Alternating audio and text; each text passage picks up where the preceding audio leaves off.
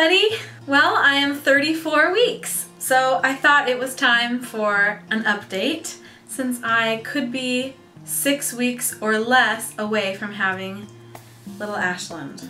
Peter and I are kind of in shock. Every day we're thinking a lot about it and just anticipating the birth and um, we're so excited. I'm really enjoying this part of pregnancy. Um, just being so big and really feeling him move all the time. It just feels so real and I'm trying to cherish every moment. Anyway, I just wanted to talk a little bit more about how I'm feeling, how things have been going the last several weeks, and things are good. I'm in Ashland's room right now, just starting to get used to it. His room is almost done, so I can't wait to show you all when it is. We still need to get our mattress and the bedding, and then I'll give you a tour of the room. Feels very weird to have this room all set up and waiting for this person that we don't know yet. But I'm feeling really good. Every day is different. Uh, the only thing that's a bummer is sleep. I can't get comfortable really at night.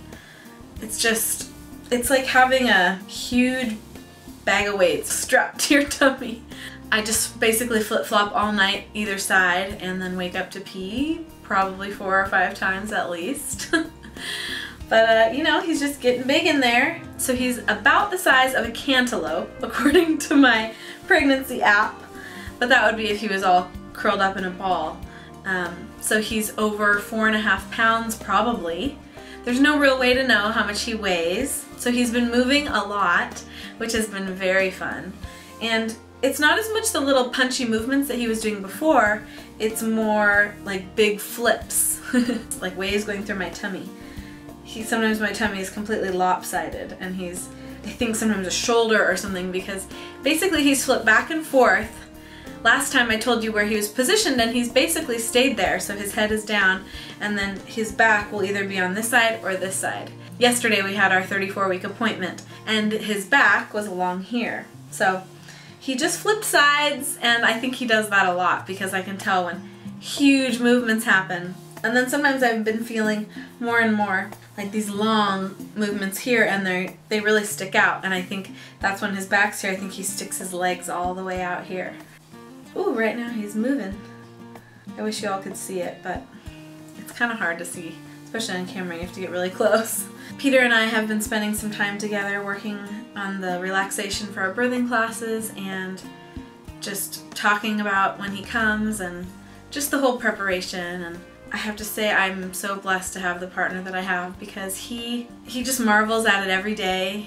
He is so sweet with Ashland and sings to my belly a lot and talks to his son and it's just an amazing feeling and we we can't get over it. And it's never something that gets old. It just you just it, it, it's not possible. It's such a miracle it's just the miracle of life is incredible and I feel so honored that I'm able to carry our son. Since we've traveled a little bit, I met Peter down in LA for some video shoots that he had, and then we had our little baby moon trip to Palm Springs. I had to fly, and so Peter, the protective husband that he is, ordered me some compression tights. so there are like these tan socks that go up to your knee, and they're really attractive. I kind of felt like an ice skater. Well, it looked like that, but I also felt like a grandpa. I could barely get them on because they were so tight. And trying to lean down and pull them on was kind of a struggle. So I felt really attractive at the airport with my compression socks on. Your feet tend to swell, as do other things, when you are prego.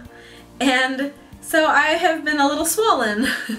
And so when you're on a plane, it's good to really move your feet, walk up and down the aisles, drink lots of water, and mostly it's just to prevent any kind of blood clotting that could happen because there's that extra weight bearing down. And if you're already swelling a little bit, it's just good to be safe. So also, I thought it was just the hot weather in Palm Springs, but my wedding ring stopped fitting when I was there. And so I thought, oh, it's just because it's warm and, you know, my fingers are a little more swollen than normal. And then we got home and I realized it was not the case. and I just can't wear my wedding ring for the rest of the pregnancy. So I went to Target and bought myself a beautifully cheap diamond ring. It actually looks really similar to my real wedding set, but the diamond is a lot bigger. so it's pretty funny. I came home and said to Peter, oh, thank you for the upgrade, honey. at this time in the pregnancy, I'm just trying to take each moment, each day at a time, and we started taking our birthing classes, which have been really awesome, just helping us get ready for when he comes. And at this point, I really feel like I want him to stay in there as long as he needs to be in there. they won't let me go to 42 weeks. Um, but full term is 37 weeks, which is so soon. And then, um, you know, your full length of your pregnancy, all nine months, are 40 weeks. So that's his due date, is about at 40 weeks. But um, I'm okay with him staying in a little bit longer because I think that's healthy for him. Once I think 41 weeks rolls around, or maybe even 40, I actually have a an appointment every day. so they'll keep a close eye on him and make sure he's healthy and that I'm healthy and that I'm feeling fine. And um, there's a lot to come, but just taking a day at a time and really enjoying it. So I have some baby showers coming up, which I'm really looking forward to. Uh, we've been so blessed already by several of you who have sent us gifts and we're so thankful for that. We feel overwhelmed by everyone's support. And um, it's been really interesting to go on this journey with you and share everything with you all too. I feel like I'll look back on these videos as a really nice journal uh, and a memory that we can share but it's also been really fun to share it with you all and to hear your comments and some of you who are pregnant who are kind of on the same journey and those of you who have children and it's just been really awesome to hear from everyone. Well, as I look ahead, all I can think about is how excited I am for the day that he comes. I'm not in a hurry and I do want him to be in there as long as he needs to be, but I just can't wait to meet him and hold him in my arms. I haven't been very good at visualizations, which is something that we've been practicing with um, our birthing classes, relaxation techniques, and visualizations of the birth and being with our son. And it's hard for me to visualize it, but the one thing that I keep seeing is holding him in my arms. I don't know what he looks like, so it's just this kind of this image that I have of a baby boy in my arms, but I don't I don't know beyond that. I have no expectations and um, I've even tried to visualize the birth and how I hope it goes, but it's been hard for me to visualize that because it's just such an unknown. I know it will be what it will be and it will be his journey and our journey together and I just can't wait for it. Alright, so here's the view I know you've all been waiting for. Ba-boom! There he is in all his glory. and I don't know if you can tell, but my belly button's popped out and it's right there. You might be able to see the little pink sticking out. We can't wait to share with you more as we count down to the day we meet our son. I can't wait to show him off and share that experience with you all. So if you want to hear more Hollens Family updates, remember to subscribe. And there will be some more music coming in the near future, which is very exciting.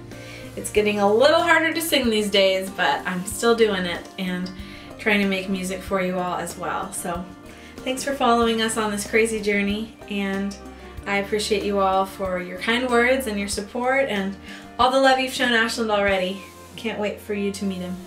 Alright, see you all next week. Bye.